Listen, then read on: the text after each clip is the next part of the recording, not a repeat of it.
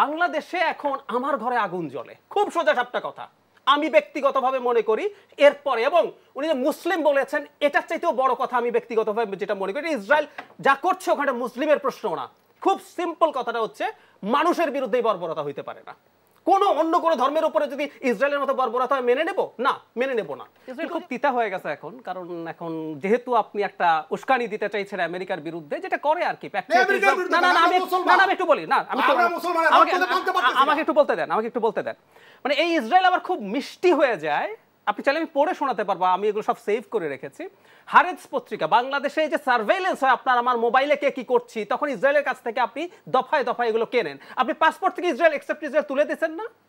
কেন তুলে দিলেন? কেন তুলে দিলেন? তখন ইসরায়েল খুব মিষ্টি হয়ে গেছিল। না আপনি? একসেপ্ট ইসরায়েল লেখা কেন তুলছেন? শোনেন, আসছি, কোনো সমস্যা নাই। থাকতে এতদিন থেকে আমাদের কোনো সমস্যা নেই। আচ্ছা আসি। আপনার কি মনে আছে ইসরায়েল বাংলাদেশকে কোনো আপনার দরকার স্বাধীনতার নেই। পরে Please, 72 সালে please, বাংলাদেশকে please, সমস্যা দিয়েছিল please, ইসরায়েলটা বঙ্গবন্ধু সমস্যা না। জাতির আমাকে পিতা disturb করেন না। ইসরায়েলকে আ- আপনাকে আমি ইসরায়েলকে disturb করি। ঘৃণ্যভাবে প্রত্যাখ্যান আপ- করেছিল আপনাকে আমি- বলেছিল আপনাকে যে আমি তোমার সমর্থন আমাদের দরকার নাই আজম ভাই এটা ইন্ডিকেট করে যে আপনি আসলে পারছেন না আপনাকে আমি ডিস্টার্ব করি কিন্তু আপনি আপনার সময় বলেন লিখে রাখেন আপনার- disturb না, করার আপনার কথা না, সময় লিখেন জাতির সামনে মিডিয়ার মাধ্যমে জবাব যেভাবে। অসত্য আপনি- তথ্যগুলো আপনি জবাব যাচ্ছেন, আপনি জবাব দিবেন যেভাবে অসত্য অসত্য তথ্যগুলো দিচ্ছেন আপনি বিএনপির পক্ষ হয়ে আপনি এটা কোনো এটা আপনার একজন শিক্ষিত মানুষ আপনি এভাবে জবাব দেন। অসত্য তথ্যগুলো জাতির সামনে জি। আপনি দিতে পারেন আমাকে একটু- সুযোগ করে দেন। না হলে তো আমার বলার দরকার নাই আই বলেন, বলেন। আমি স্টপ কিন্তু বলেন। আমি স্টপ করি। আপনি বলেন আমি কি মিথ্যা বলছি। আমি আপনার মিথ্যাও আমি পরে ধরে দিচ্ছি। আমি আপনার সময় কীভাবে একটা মানুষের সামনে ডাইরেক্ট মিথ্যা করে খুব জরুরি ব্যাপারটা হচ্ছে এটা যেটা আলম ভাই করছেন। সেটা হলো মানে এগুলো ওনার বোঝা উচিত আমি ওনাকে একজন প্রাজ্ঞ মানুষ মনে করি। যখন আপনি আরেকজনকে কথা বলতে দেন না উনিও তো বলেছেন আমি তো ওনার কথা মানি না। তো আমি কি ওনাকে ডিস্টার্ব করেছি? করি নাই। আমি পয়েন্ট আউট করেছি। আপনি অসত্য ধরে কইরা, ধরে দিন আপনি ধরে যে দিন মিষ্টি কইরা ধরে। বলেন। তো দিতেছেন না এই যে বলতেছেন আপনি ধরে বাধাগ্রস্ত। আপনি ধরে দিন আচ্ছা তো যেটা বলছিলাম এখন বাংলাদেশে এখন আমার ঘরে আগুন জ্বলে। খুব সোজা সাপটা কথা।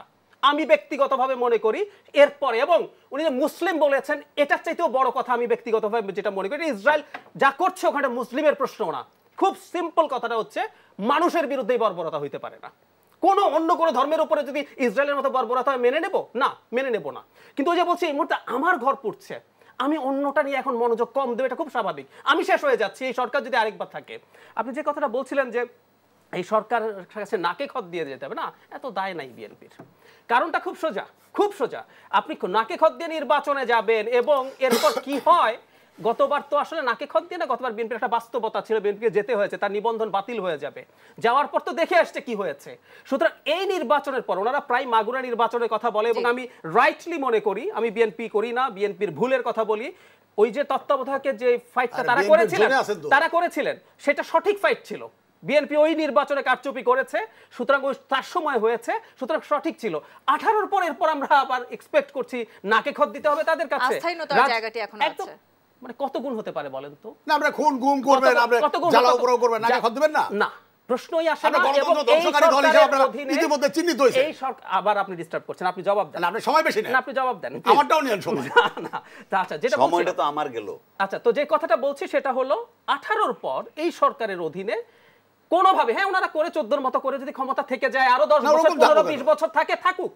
কিন্তু ওটার পার্ট বিএনপি ওই নাটকের পার্ট বিএনপি বা বিরোধী আমার তো গণতন্ত্র মঞ্চ আছে সুতরাং আমাদেরও কিছু কথা আছে ওই নাটকের পার্ট